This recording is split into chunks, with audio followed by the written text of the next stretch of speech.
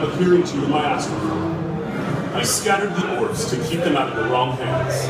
Each orb is linked with one of our three sanctums, London, New York, and Hong Kong. You have to get all three orbs back to Kamar-Taj. I don't mean to sound dramatic, but if you don't, our world is doomed. First, I will send you to where I sent the second orb. I would know myself, but my physical body is dealing with some unexpected guests at the moment. I know. Impressive.